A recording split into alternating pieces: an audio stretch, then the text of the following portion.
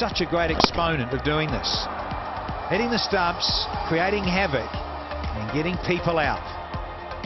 Such a great exponent of doing this. Hitting the stumps, creating havoc, and getting people out.